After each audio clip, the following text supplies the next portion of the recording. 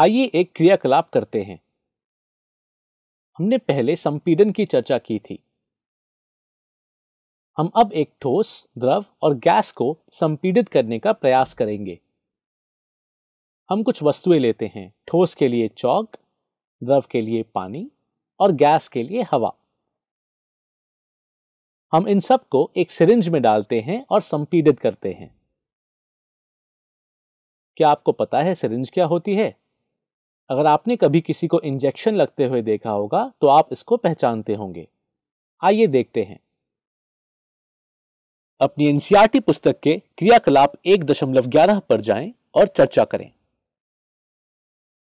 जिस सिरिंज के अंदर चौक है, उसको दबाने में मुश्किल होती है और चौक संपीडित नहीं होती है। जिस सिरिंज के अंदर द्रव है, उसको दबाने में थोड़ी मुश्किल होती है और द्रव बहुत कम संपीडित होता है।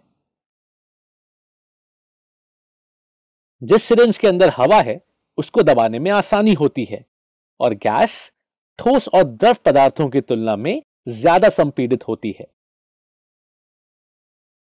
इसका निष्कर्ष यह है कि गैसों का संपीडन सबसे आसान होता है। द्रव बहुत ही कम संपीडित होते हैं और ठोस पदार्थों में संपीडन नगण्य होता है। हमने इस क्रियाकलाप से क्या सीखा? हमने सीखा कि गैस ठोस और तरल पदार्थों की तुलना में सबसे आसानी से संपीडित हो जाती है। क्या आप इसका कोई और उदाहरण जानते हैं? क्या आपने कभी रसोई में गैस सिलेंडर देखा है?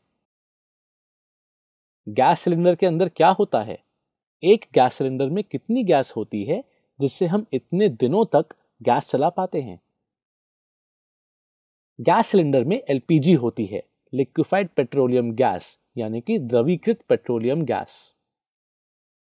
बहुत सारी गैस को जब सिलेंडर के अंदर संपीड़ित किया जाता है तो वह द्रव में बदल जाती है, LPG, liquefied petroleum gas. LPG की ही तरह संपीड़ित प्राकृतिक गैस, यानी कि सीएनजी यानी कि कंप्रेस्ड नेचुरल गैस का इस्तेमाल पेट्रोल की जगह वाहनों को चलाने में किया जाता है। और इसका इस्तेमाल इसलिए किया जाता है क्योंकि इससे प्रदूषण कम होता है।